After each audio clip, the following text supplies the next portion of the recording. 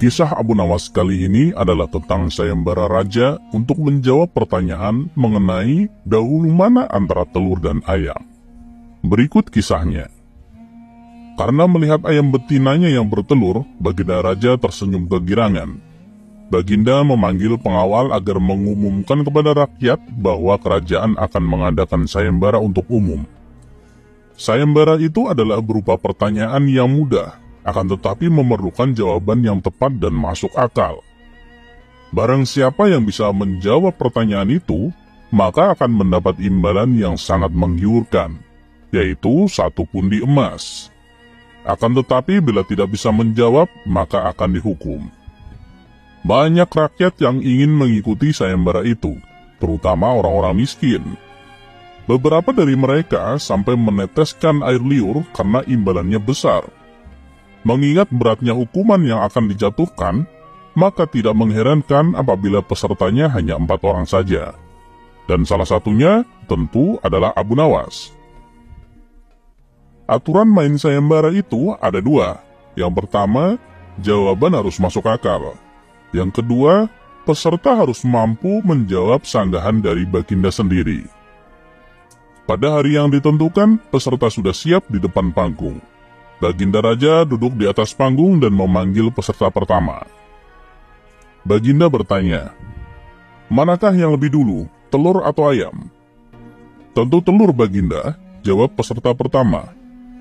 Lantas apa alasannya? Tanya Baginda. Ampun Paduka, bila ayam yang lebih dulu itu tidak mungkin, karena ayam berasal dari telur Jelas peserta pertama. Kalau begitu, siapa yang mengerami telur itu? Sanggah Baginda. Peserta pertama, pucat pasti tak mampu menjawabnya. Wajahnya mendadak berubah putih seperti kapas. Ia tidak bisa menjawab. Tanpa ampun lagi, ia dimasukkan ke dalam penjara. Peserta kedua. Manakah yang lebih dulu, telur atau ayam? Tanya Baginda Raja. Ampun paduka yang mulia, sebenarnya telur dan ayam tercipta dalam waktu yang bersamaan. Jawab peserta kedua. Lantas, bagaimana bisa bersamaan? Tanya Baginda. Bila ayam lebih dulu, itu tidak mungkin, karena ayam berasal dari telur. Bila telur lebih dulu, itu juga tidak mungkin, karena telur tidak bisa menetas tanpa dirami. Jelas peserta kedua. Bukankah ayam betina bisa bertelur tanpa ayam jantan? Sanggah Baginda memojokkan. Peserta kedua ini bingung menjawabnya dan akhirnya dijebloskan juga ke penjara. Peserta ketiga. Manakah yang lebih dulu, telur atau ayam? Tanya Baginda Raja. Ampun tuanku yang mulia. Sebenarnya ayam tercipta lebih dahulu daripada telur. Jawab peserta ketiga. Sebutkan alasanmu kata Baginda. Menurut hamba, yang pertama tercipta adalah ayam betina, kata peserta ketiga meyakinkan. Lalu bagaimana ayam betina bisa beranak pinak seperti sekarang, sedangkan ayam jantan tidak ada? Kata Baginda memancing. Ayam betina bisa bertelur tanpa ayam jantan, telurnya dierami sendiri, lalu menetas dan menurunkan anak ayam jantan kemudian menjadi ayam jantan dewasa dan mengawini induknya sendiri. Jelas peserta ketiga.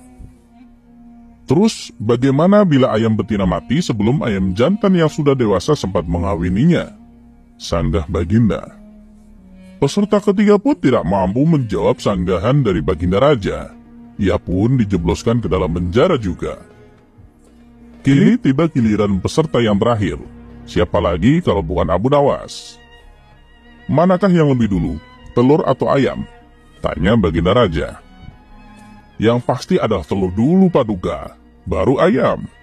Jawab Abu Nawas. Coba terangkan alasanmu secara logis. Kata Baginda ingin tahu. Ayam bisa mengenal telur, sedangkan sebaliknya, telur tidak bisa mengenal ayam. Jelas Abu Nawas. Baginda Raja hanya bisa geleng-geleng saja dengan jawaban Abu Nawas ini. Sambil berpikir, kok bisa jawabannya kenal mengenal? Kali ini Baginda tidak menyanggah alasan Abu Nawas. Dan Abu Nawas pun pulang dengan membawa hadiah yang telah dijanjikan sambil memegangi telurnya.